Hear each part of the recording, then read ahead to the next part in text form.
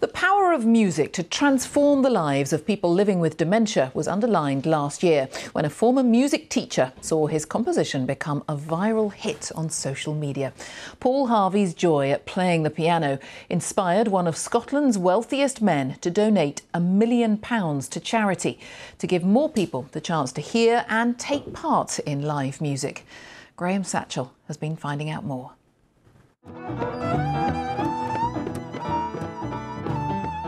You ever wondered about the extraordinary power of music, look at this.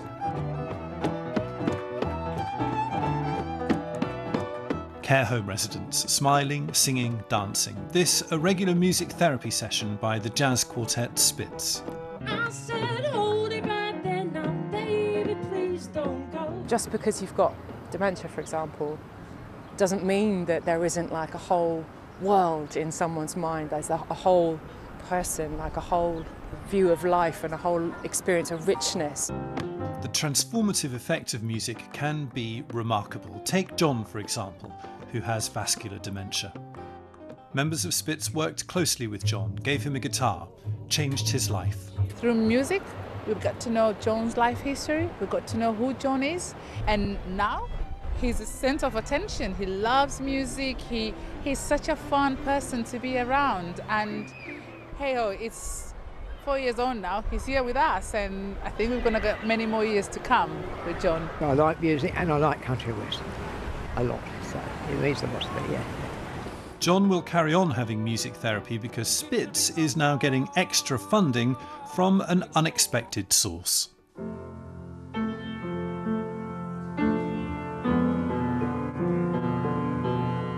When Paul Harvey was given four notes by his son Nick to improvise a tune, no one could have guessed what would happen next. The tune went viral online and then was orchestrated by the BBC Philharmonic.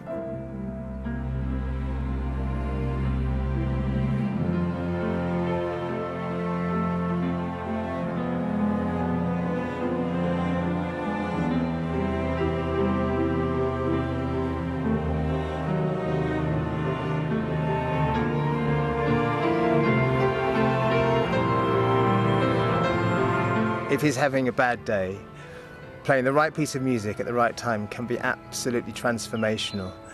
And if I manage to get him up to play the piano, magic happens. Paul's story was seen by Scottish philanthropist Sir Tom Hunter, who gave a million pounds to two charities.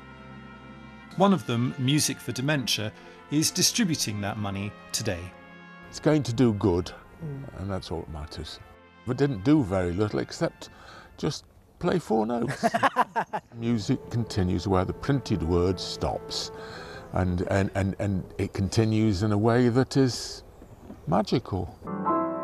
Paul is a remarkably gifted man whose love of music will now help thousands of other people with dementia across the UK. Graham Satchell, BBC News. What a beautiful piece.